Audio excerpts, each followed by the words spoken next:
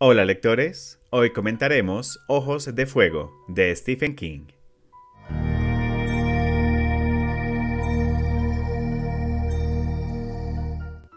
Charlie es una niña rubia, de ojos azules, bien educada y cariñosa, pero también es piroquinética. Puede encender el fuego a distancia, desde inofensivas fogatas hasta hogueras voraces. Y si posee estas capacidades a los siete años, horroriza pensar en sus poderes destructores cuando sea adulta. Aunque la verdad tiene pocas probabilidades de llegar a la edad adulta, porque el Servicio Secreto norteamericano, encargado de realizar investigaciones científicas y paracientíficas para su aplicación militar, ha decidido estudiar a Charlie y luego eliminarla. Ojos de Fuego es el segundo libro de Stephen King sobre una joven con poderes psíquicos. Carrie tenía telequinesis y la usó para deshacerse de la mitad de su clase en la escuela secundaria después de que algunos chicos populares le arrojaron sangre de cerdo en el baile de graduación. Esa es una novela corta con una historia condensada, pero consolidó a King como el escritor de terror y ficción de los años 70 y 80. Y unos años después, nos ofrece una nueva historia sobre una niña dotada de habilidades psíquicas, un libro que no es lo que la gente entonces, o incluso ahora, consideraba un libro de Stephen King. Los lectores esperaban monstruos, fantasmas, asesinos. Pero Ojos de Fuego es una novela de ciencia ficción. Es una historia de persecución, una historia de escape, una historia de gobierno enloquecido, una historia de padre e hija. No hay asesinos en serie, ni espíritus vengativos, ni vampiros, ni sustitutos de Lucifer. Es el libro donde King comenzó a extenderse más allá de las limitaciones del horror, aunque después constantemente regresó a esas aguas turbias. Ojos de Fuego nos engancha desde el principio con un padre y una hija que huyen de los sombríos agentes del gobierno. El padre usa un empujón mental para instar a las personas a seguir sus sugerencias o creer en algo que les dice. De hecho, puede atacar sus nervios con la fuerza suficiente para cegar físicamente a alguien, pero dependiendo de cuánta fuerza mental ponga detrás del empujón, sufre repercusiones que van desde migrañas hasta hemorragias cerebrales reales. Su hija, Charlie, tiene la capacidad de encender el fuego con su mente, y mientras su padre se ve disminuido por el uso de su poder, la habilidad psíquica de Charlie se fortalece con el uso.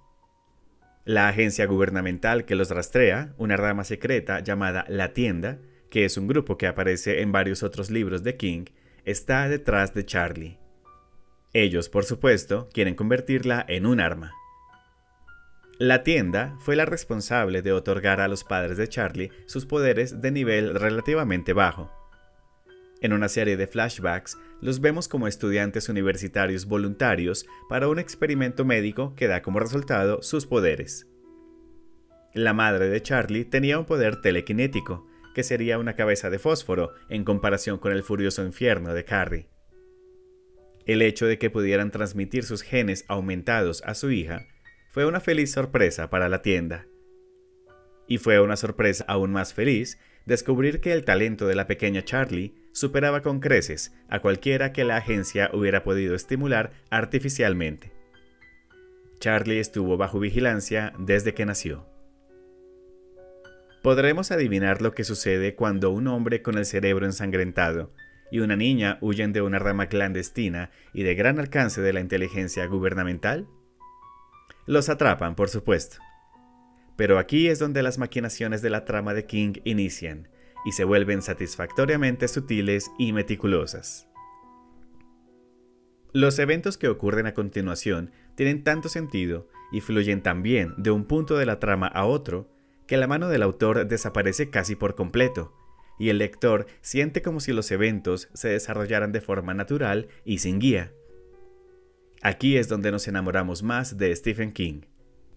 Por supuesto, el escritor está moviendo los hilos, pero cuando lo hace con la suficiente destreza, nosotros los lectores olvidamos que estamos esencialmente viendo un espectáculo de marionetas. Todo el tiempo sentimos que la trama avanza hacia un gran clímax. Como nubes oscuras que se acumulan, podemos sentir la tensión crecer. King se detiene y luego nos da un poco de alivio, luego reprime más, hasta que el inevitable brote de una tormenta golpea con toda su fuerza, dejando caer lluvia y relámpagos a partes iguales. Es un viaje fantástico. King siempre ha sido bueno con las relaciones, ya sean grupos cercanos como amistades o familias o grandes comunidades y vecindarios. Entiende los lazos que unen y las tensiones que amenazan esos nudos. Todos sus mejores libros tratan sobre la creación o la destrucción del parentesco. Aquí tenemos el vínculo más estrecho posible, el de un padre y una hija, puestos a prueba hasta sus límites. Y aprendemos en esta novela que tal vez no haya ninguno. ¿Y tú ya has leído Ojos de Fuego de Stephen King? ¿O es un libro que te llama la atención y que quisieras agregar a tus próximas lecturas? Cuéntanos tus opiniones en los comentarios. No olvides darle la manita arriba a este video, suscribirte al canal si aún no lo has hecho, y activar la campana de notificaciones para recibir una alerta cuando se publique un nuevo video.